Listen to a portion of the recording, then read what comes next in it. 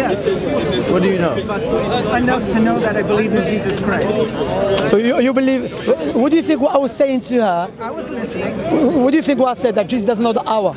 I, I was listening to some. I didn't catch all of what Ah, you were saying, but I was listening to some, and I noticed how you were taking, you were cherry picking verses in the context of the Bible.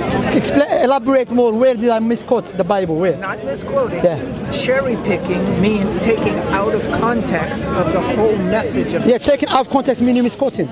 Well, if you want to equate it that. So yeah, so can you elaborate where I did misquote? No, I'm not going to get into a polemic with you.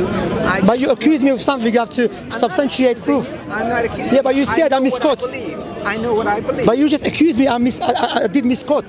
So you have to substan- substantiate proof for the claim. no, All I right. don't have to. No problem. Take care of yourself. Have a nice day. Yeah. Take care. Bye bye. الله يرحمها هذه من الم- السلام ابدا.